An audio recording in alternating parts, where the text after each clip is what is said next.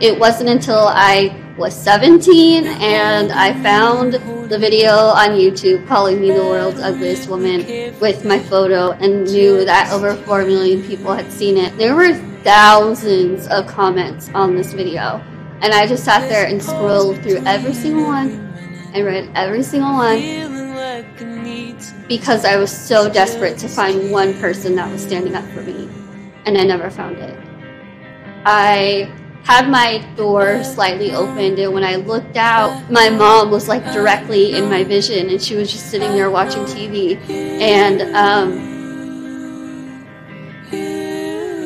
and I knew if that video crushed me as much as it did, I couldn't imagine what it would do to her.